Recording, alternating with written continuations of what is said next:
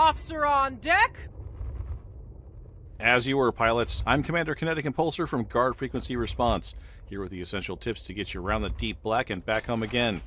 Today I'm briefing you on basic anti-Xeno combat in Elite Dangerous.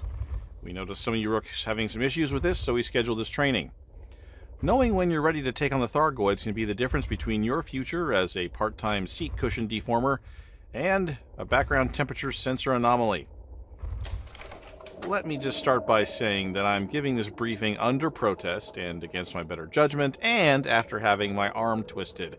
Because if you're a nugget, you've got no business tangling with some plant slash bug hybrid that wants to cover you in goo that has a pH so high it needs to be written as an exponent. Eh, yeah, I know that pH is technically already an exponent, but that was the joke. Eh, you know what? Just, just, just, just shut it. Just shut it. As I was saying, Anti-Xeno combat is not for the faint of heart or the slim of wallet. However, it's come to my attention that the fate of humanity is at stake, and that killing Thargoids is some of the most lucrative work out there. So I suppose that the prospect of fatter wallets and the survival of the species might uh, bolster some rookie hearts. However, as much as my gruff demeanor and cavalier attitude suggests otherwise, I would rather not have all of you end up as pockmarks on space rocks. So there are going to be a few prerequisites if you want to stay in this particular course. First, if you don't have 400 million guinea quids in your space buck account, there's the door. I- I'm serious. Go. You can't afford this fight. Second, are you ranked as a scout or better with the Pilots Federation Exploration Division? No? Get out. Door. Now. You're not experienced enough for this fight. Third, have you sold cargo to five or more black markets? Yeah, I mean it. You can tell I'm serious about this because I didn't try to make up a coy euphemism for black market. How can you tell how many black markets? Uh, uh, fine, fine, hang on. Go to your right hand panel, Home tab, choose Codex, choose Commander, choose Stats, and click on Smuggling. If the number of markets is five or bigger, you can stay. If not, there's the door. Don't let it hit you where the dark wheel split you. Next, do you have a Krait Mark II or can you get one? No, you don't have to have a special system permit or a faction reputation score to get one, just cold hard cash. And yes, you can buy it with part of your 400 million. Finally, do you have a smattering of raw data and manufactured engineering materials? Specifically, do you have iron, sulfur, and chromium? Do you have modified consumer firmware, specialized legacy firmware, and security firmware patches? Do you have flawed focus crystals, focus crystals, mechanical equipment, mechanical components, conductive components, hybrid capacitors, grid resistors, and precipitated alloys? Can you get them? Do you know what they are? No? Get off my deck. Go see the galaxy a bit before the Thargoids melt it all. Okay, everybody set? Nobody still here who's unqualified? I, I mean, you're all unqualified, but like really unqualified. No? All right, here goes. First things first. Go buy that Krait Mark II, not the Phantom, Mark II. Upgrade your skin to the military grade alloy armor and A rate all the other core components. But Commander, I can save weight by D rating, blah blah blah blah. Nah. A rate it all and stop arguing with me. For the optionals, pick a standard size 6 shield, a size 6 cargo bay, two 5D hull reinforcements, a 4D and a 3D module reinforcement, a 3C Xeno multi-limpet controller, and another 2D hull enforcement. I don't care what you do with the size 1 slot.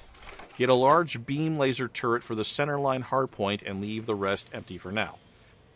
Then grab A-class shield boosters for two of your utility slots and leave the other two slots for later. You can get the ship, the armor, the cargo hold, most of the hull and module reinforcements, the shield bank and boosters, and the beam laser from Denver Station in the ANSI system. For the rest of the stuff, you can use the Inara.cz data site to locate the other components. If you don't know what that is, go listen to the Nuggets briefing on third party data sites. I'll wait here. Got all that? Good. Okay. If you're starting from scratch, you'll have just blown through about half of your original 400 million. I told you this was expensive. And you're not quite done yet. Next, go find your invitation to an engineer named the Dweller. Go to his base in the Wyrd system.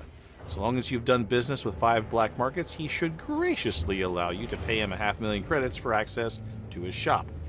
Pay the man and don't ask him about his name.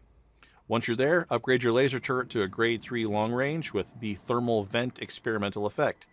Also, you can optionally upgrade your power distributor to the charged enhanced feature and superconduit experimental trait.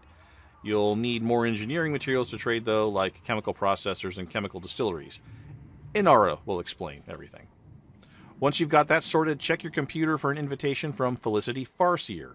But before you set a course for the Deciat system, it is vital that you set your IFF transponder to private or solo. Do not, under any circumstances, jump into Deciat with your transponder in open mode. I repeat, do not go to Deciat in open. Are you all reading me 5 by 5 I need an acknowledgement from each of you. Good. All right, once you're there, you're going to use the Inara site to locate a fleet carrier that is selling meta alloys. You know, once upon a time when the angry poinsettias were a little less angry, you could wander the deep black and pick up your own. Now it's easier and far less dangerous to spend north of a million guinea quids to just buy one.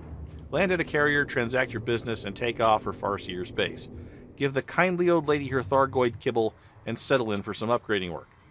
You'll want to upgrade your shield boosters to grade 1 heavy duty and optionally add the supercapacitor's experimental effect. But again, you'll need more stuff to trade like cadmium and untypical shield scans, which really should be called atypical because I don't think untypical is a word. Upgrade your power plant to grade 1 overcharged. Optionally, you can upgrade your frame shift drive if you have chemical processors and atypical disrupted wake echoes. See? See? Atypical. There. But the main reason to visit is to crank up your thrusters to grade 3 dirty with the drag drive experimental effect. This is really important. If you've ever been around a Thargoid, you know that speed is life. Get fast. Get as fast as you can. Okay, so now you've got a pretty nice little combat ship. Now it's time to make it an anti-Xeno combat ship. Your last stop is one of the AX rescue ships. Go to your galaxy map, pick out a blue and green cross, and head out. Once you've landed, fill those last two utility slots with a shutdown neutralizer and a Xeno scanner. Buy and equip a pair of Size 3 enhanced multi cannon turrets and a pair of Size 2 enhanced AX missile launchers. And that's it. You're equipped. Configure your power priorities, set your fire groups, and don't forget your limpets. But let me give you a final word or two of advice. First, you're still a rook. You will lose this ship, probably a few times, before you get the hang of things. Hopefully, you still have enough guinea quids for about a dozen rebuys never fly without a rebuy, and that goes 10 times over when tangling with the azaleas of doom. Secondly, this ship and your chops are fit to play a support role only. You are a scout killer.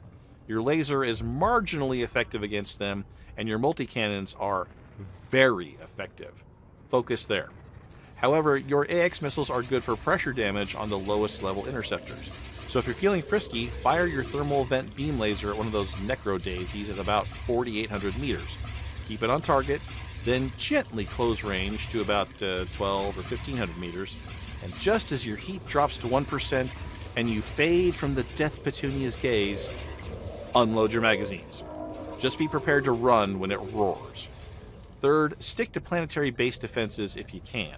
There won't be any Thargon swarms. You can land to repair and rearm, and there will be help for you in the form of non commander AX pilots. Last, watch out for that caustic damage. In this ship, your best bet is to disengage from the furball, clear your targeting computer by selecting target ahead with your nose pointed into empty space, and pickling off a decontamination limpet. You did remember your limpets, didn't you? It'll take a few seconds, and the Thargoid scouts like to shoot them off your hull for target practice, so make sure the procedure completes. Well, uh, that's it. Well, yeah, actually, it's nowhere near it. And there's so much more you need to know before you go throw your lives, fortunes, and sacred nuggetness away. But uh, I know your love of humanity and your desires for fame and fortune have almost certainly overwhelmed your common sense. So get out there, sluggers. Good hunting, good luck, and the Thargoids will most likely kill you in the morning. Okay, boys and girls, put your finger paints back in your cubbies and change to your flight suits. Skids up in 10. See you in the deep black.